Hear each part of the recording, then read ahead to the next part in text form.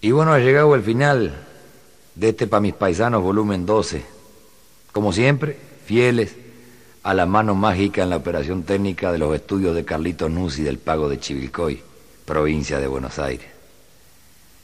Y con esta familia que todos los domingos andamos por todo el país, con las manos sucias, con mi hermano el Pai, con Natalia Cabral, la chamamecera, que es mi compañera en la vida y en el escenario. Dedicarle este material a mi vieja gaucha, a toda mi familia, a mis amigos, a la gente que me quiere de verdad. Y también hacerle un homenaje, porque en el volumen 11 la foto de la tapa era un dibujo que hizo Lisandro Siperovich, o el Liche, como le decimos nosotros, a este mozo del pago de Gualeguay, provincia de Entre Ríos.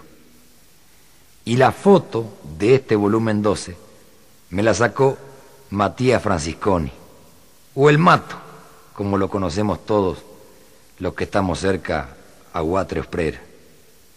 Se le ocurrió hace pocos días irse a visitar Estrella. Para nosotros, Mato, estás con tu alegría, con tus fotos, con tus diabluras. Que Dios te tenga en la gloria, hermano. Y gracias por dejarme conocerte.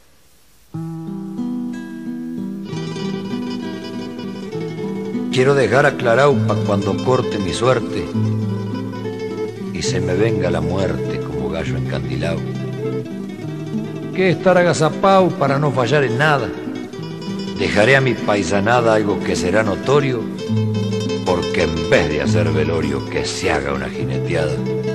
Ojalá Dios desde el cielo no se enoje y me comprenda, que necesito que entienda, es mi último consuelo. Y antes de emprender el vuelo, que nadie llore por mí. Pero le pido, eso sí, al que esté de animador, que se diga un verso, flor de los tantos que escribí. De las diez en adelante, que se largue de las clinas. Y a las doce se termina con un asado abundante. Yo estaré ahí lo más campante, disfrutando de la fiesta, que se haga limpia, modesta, que nadie salga ofendido. Y si alguno está aburrido, que contraten una orquesta. En lo mejor de la barra, que no falte un payador, como tampoco un cantor que haga temblar la guitarra, que toque, que ponga garra por las costumbres camperas y con la grupa surera que larguen 20 baguales y 10 montas especiales con el basto y la encimera. Jinete, de corazón te pido y ya te lo escribo.